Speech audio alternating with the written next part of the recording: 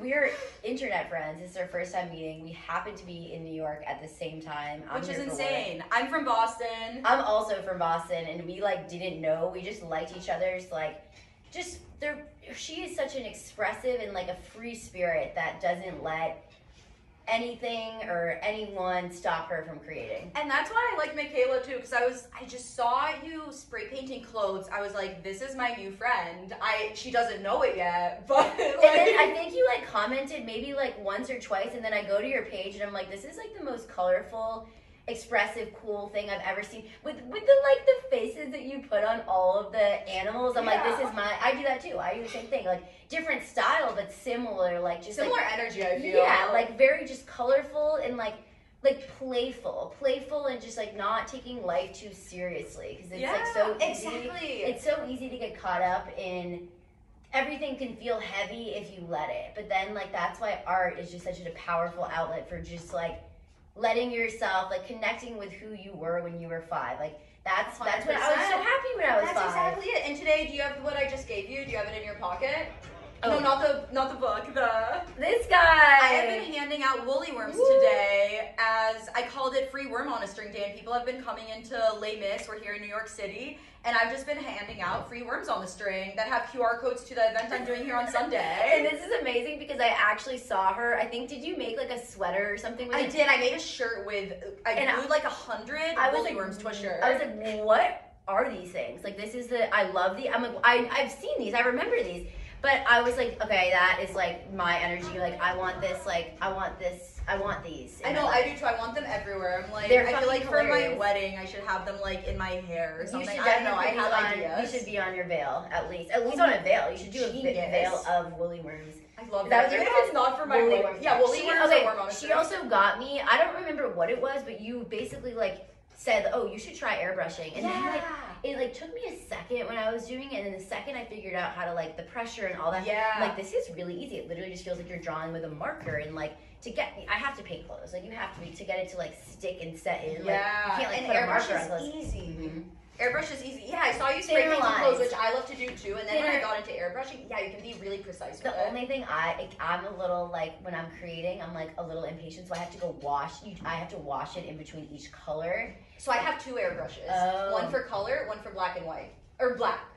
And do you end up mixing in the colors? Because sometimes you could like mix them, and then it kind of ends up Yes. it kind of ends up brown.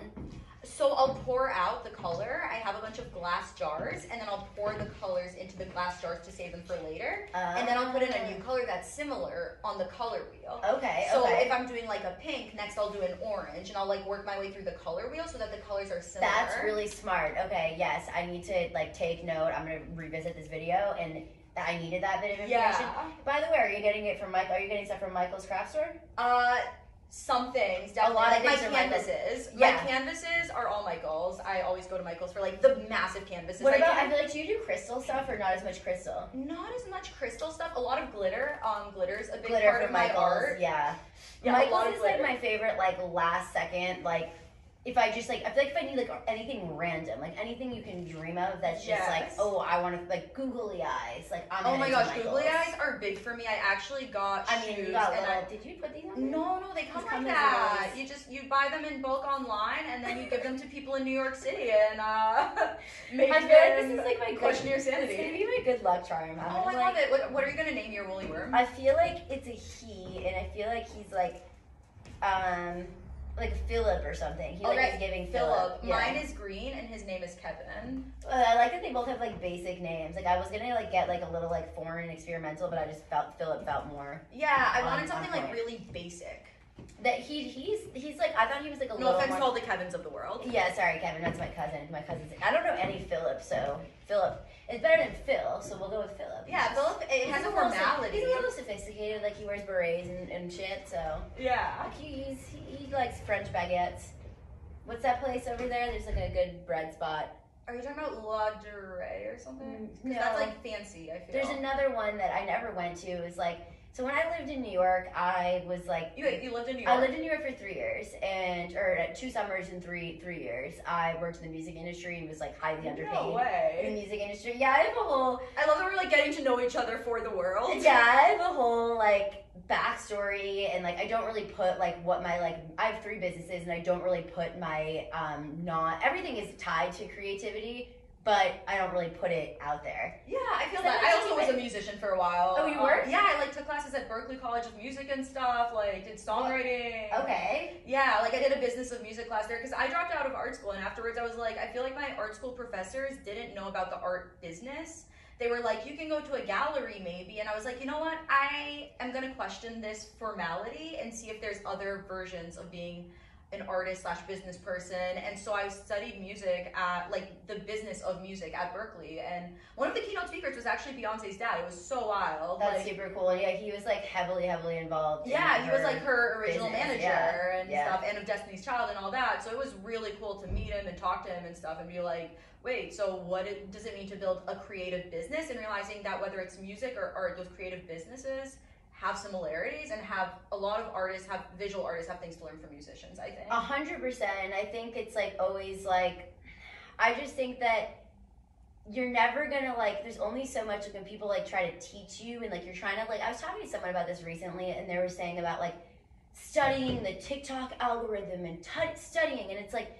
There's only so much you can get by studying. You actually just have to do. You have Yeah. to just start doing it Dude, and that's hundred the only way. And like, so I, I represent content creators, and until I was putting out content myself, like it's completely changed my perspective on like how much work and time that goes into it, and it's just like it really is like a full time business. It's a full time business being a content creator, and like that's why it's so, it's so important for brands to value creators properly. Yeah, And it's it's- work. It's a full time job. And they're they're building these they're these personas, these personalities, but they're really the people that are doing the best are just being themselves on the internet, which is what 100%. you do, and Thank you you. encourage people to do that. And I think it makes some people uncomfortable, people that are really uncomfortable, and insecure, and just like not like like they're just like in that like judgmental. because they go to the internet for validation of their creative work. That's where the insecurity comes from, in my mm-hmm. opinion. If you're going to the internet to have someone tell you your art's good, you're awesome, you're attractive, you're whatever, if you're going for validation, you are going to get burned on the internet. You are going to feel terrible on the internet. If you go on the internet because you have something to actually give the world, you don't care that there's people who are going to hate you. I go to TikTok, to Instagram, it's an outlet. It's kind of like an outlet. it is, and I do it because I'm like, I feel like I have something to give. I can encourage other people to be creative. I can make art that makes people laugh or smile. And if there are people who don't like that, I don't care because it gave value to someone else, and I'm not going to the Even if internet it's one for even if- validation. even if it's one person, changed people's lives, the, I swear. The coolest thing happened. Someone that I, I wish I knew his name, and I think he's coming to your pop up. So Yeah. you're gonna get to see him. He's like, I think he was your fan first, or like your uh, he's, Yeah. he's someone fan. Whatever. I think it's someone that I Friend. do know. It might You- be, I- yeah. like maybe you've met him or something. Seems really amazing. The fact that he somehow I don't know how he found me too, but was inspired by my work and made a hat inspired by my work and is wearing it to your up. That's so cool. I was like, did they? Re- does that person realize we're connected? I don't know. I think so. Yeah. Or maybe not. Maybe not. Maybe Wait, they're maybe just inspired not by both of us. Yeah, maybe not, which would be really cool. That's cool, that, I'll that- ask him when he yeah, we have to find out because I feel like it might, it could just be by chance. It could be. It could be, and like I mean, that's why we're. I guess I don't think it's chance. I think it's on purpose and Yeah. everything. I think I think Hundred percent. everything happens on. I I'm gonna say for a reason because I just feel like that's oversaid, but like everything is on purpose. Like like timing that. is always. It's always intent. Everything is intentional. A hundred percent. if you decide that, like I like to like give meaning, not meaning, but like just like yeah, like make meaningful moments really, Yeah, rather than absolutely. making meaning of something. It's just like enjoy the moment, and th- there's meaning in every moment. There's purpose in what you are doing and in the things that are happening. That I believe that too. I'm like, it's not chance that I was flipping through TikTok and saw you spray painting clothes. I don't think that's chance. And that neither of us is from New York City. We're from And we're in New York. We're Saying, I was time. saying, I literally like have like an hour of time that I was like, you know what, I have to, I have to come meet you.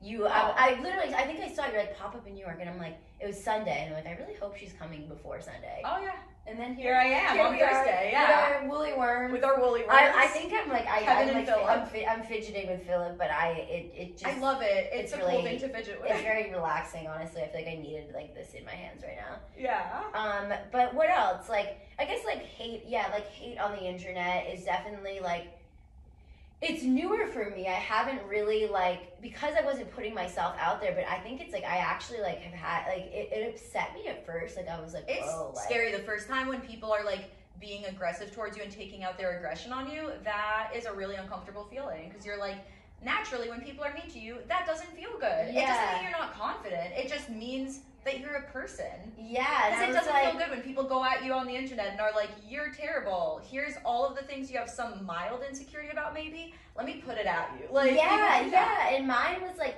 it was interesting because like I've definitely like struggled with my body image, even though like I'm a pretty like normal size, but like my body image is something that like I struggle with. So the fact that like there were comments, I actually ended up being like, wow, this is a really good. The comments were saying like if she were a double zero, and I was like, are people like saying I'm fat or this that, and like that's it doesn't even matter. Like that's not what was being said. But I was like, this is even if it, that was what was being said, it, just- it's just It like highlights things yeah, for I was like, I was like, oh wow, like this is a really, and I just feel like I'm 27, so like I'm not like I'm older. I'm an old. There TikToks for anybody, but like the main people that are on TikTok are like younger people. Eh, and everyone's on TikTok, but I do think it's like it has the power to like make a positive impact on on the youth, and that's something that like I think that like we can really do Absolutely. we can do through our color, through our conversations. Like I love how you talk. Like you're not just an artist. Like you're really like advocating. You're advocating for just like self expression, just being Yeah. yourself. and imperfectionism that's like I love oh, that. that's the number one thing i advocate for for people is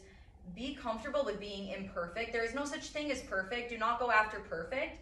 Imperfection is something to be celebrated. That's what makes us human and not machines. I and love it's that. an awesome thing and it makes us feel I, good. I love that so much because as a recovering perfectionist, same. I think that I think that most artists are a recovering, per- or I guess I'm a perfectionist, but I have to like, art is a way to let go of that. It is. People either use art to make themselves more perfect or more hard on themselves, or they use it as a way to feel freer and happier. And you get to make that choice as an artist. You get to make that choice whether art is going to serve to make you a happier person or more miserable. You have to make and that it's choice. such a powerful it's so powerful if you let like you have to like just kind of like release your expectations and like i'll often find myself like as i'm working on something i'll find myself saying i hate this i hate this i hate this this looks so bad this looks so bad and then like it ends up being my favorite thing i've ever made like Yeah. i'm like just keep like work through those like self-doubt or whatever whatever like negative comments are coming up in your my head like just like imposter syndrome whatever the fuck comes up yeah. then I'm like, hold on, just just stop with all that and just get get back to get back to just letting my mind be free. Yeah, and that's something I was actually talking about today with Leah, who's the creator of the store we're in right now. Hi Leah, thanks Leah. I was making a mural here in the store today and I was just laughing. I was like, this is so fun. I can't believe I get to come to New York City and make art. So instead of thinking about this is gonna suck, this is bad, I'm like, what a wonderful thing it is that I am grateful for that I get to make art. Whether it's your job or whether it's just something you do on the side, it's something you get to do. It's something to be celebrated. You are so lucky to be in the position where you get to create. And instead of focusing on, oh my gosh, is this gonna be good? Is this gonna suck? Do I suck? No, you get to make art. You get to be a person. It's a celebration of being a human being to me. And it's just like, yeah, it's like it it's so subjective that like it doesn't really matter as long as you're enjoying the pro- sorry All good, all good. as long as you're enjoying the process of creating like the process and like the journey like is so that's that it makes me like when I, I struggle with severe severe anxiety so art is like the only one of the only things that like as i'm like especially with spray paint it's like makes me be in the present moment i'm like ooh like you hear it you see it and like i It's have to like grounding. focus on what i'm doing so it just like puts me in the here and now and i think that anything that can do that is so important to like just be in touch with that. And like you never know how something you put out is gonna make someone feel and someone might need someone needs someone I can guarantee that one person needs everyone's art. I don't care if it's a Yes. chalk drawing on the sidewalk or a stick figure, whatever it is, someone needs your art and your message because when you let it come from your heart, and I know it sounds cliche, but if you just like let it come No, from you, true. Then someone's gonna connect with it and feel feel less alone. And I think that is so important right now. Someone now. will feel seen through your creation because you are expressing something that they are feeling and don't know how to express. And the other thing is, you could actually save someone with your art. You could give them purpose and meaning. I did that. I didn't realize it, but someone sent me a letter to my PO box saying that they like stayed alive. They didn't, you know, Oh. and they're oh. like because I've they, chills. yeah, they watched my videos. They said they watched every single. I have more than a thousand videos on TikTok. They said they watched each and every one, and that they stayed alive and they continued to create and they continued to be a person and to celebrate what it means to be a person because of the messages I was putting out there. So I don't care what hate messages I get. I don't Oh care my because someone God, is still alive because of me. That is the coolest. Yeah, that like, it brings me to tears. Yeah, I'm like I'm getting emotional hearing that. That is like what what Yeah. an amazing like there's so much good to be had Yeah. by by creative creatively expressing yourself and yeah, I think just like people feel like oh, no one feels what I feel. No one is going through this. Yeah. Oh, like I'm alone and this and that. Then you'll like sometimes I'll like read random things on people's clothes and it's like kind of like just like sarcastic and a little dark and I'm like, haha, I feel that. I'm like, oh, I relate to that. Yeah. And then it's like, okay, that came from someone's mind. So it's just yeah. So you're not alone. yeah. And art, when you create art, you are telling someone out there that they are not alone. And that is such a gift. You are obligated to share that gift. You have to share that gift. Like, it doesn't matter how many people are going to hate on you. I've gotten hate on the internet, you've gotten hate on the internet.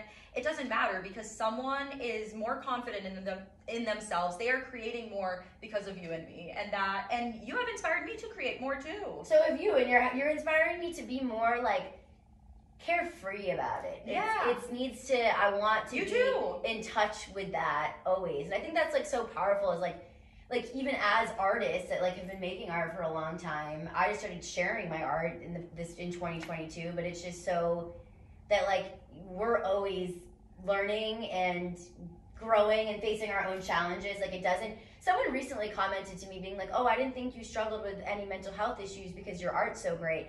I'm like, My art's so great because Yeah, of because that. I swear, say it. No, I- Girl, I am with you there. Yeah, Like, I people was don't like, realize, like, I oh. create because I'm like, I could either lean into the darkness and the difficult things in my life, or I could decide to celebrate what it means to be a person. And I sort of had that moment when I was younger where I'm like, okay, either I could be really sad about life, or I could just say, F it, I'm gonna celebrate being a person. I am going to create, and I don't care what anyone says about it. And that's where my confidence comes I from. I love that decision. I love that Yeah. like It was strong a decision. strong decision. Yeah, I think that Trying to remember if I had a moment like that. I like got really depressed and kind of like lost touch with my art, but I would always and it's so cool to see like my art started like I was when I was like the most depressed, I was in high school. Um, and I think I was more depressed in college, but I was depressed. I was just I feel that. I dropped out of college. You're yeah, I, yeah, I was depressed for a while, and my art was black and white. Oh my god. Doesn't that say so much that like my art was black and white, and All now my art was black and white. Yeah, like I was like, it's so interesting. My art that I, from like, college was all black and white. Yeah, my, same with me, and I just like didn't want to add color, and then I don't know like what moment. I think it was when I moved to New York. Mm, I met some amazing artists in New York City. That is what inspired me. I uh, his name's Mr. Moda. He taught me how to spray paint. There's another guy, Ian Sullivan so cool. um, that was they were spray painting, and I was like, hmm. I never thought let me pick up a can of spray paint, but he like just watching the the process of him doing it. There's a store. There used to be a store called Faith Connexion in Soho. It's not there anymore. But I walked in there just by chance one day, and I That's saw wild. them saw them creating, and was like, what's going on here? so maybe not by chance. No, it wasn't by chance. It's clearly on purpose. But then, Yeah. um, yeah, it that like just like re changed my directory of life. That like once I found spray paint, that was, that was great. No, that was awesome. I'm so glad we got to share this with you guys. Thank you for listening to the conversation between me and Michaella. I'm sure there will be many more. And I hope there's many more. I feel like we Absolutely. have different experiences, yet like similar beliefs at the end of the day. absolutely, like we've reached very similar conclusions with different life lives, Yes, and that's really cool to find people like that. that we found each other from we met on TikTok. We so met on TikTok, so thank you TikTok. Thank you for you page for introducing me to Michaella. the algorithm. the algorithm is hitting, I swear it's working. So thanks for watching, you guys, and and thank you for the book.